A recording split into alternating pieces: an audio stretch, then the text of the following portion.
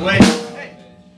Count down with the sticks, because it always confuses me when you don't do that.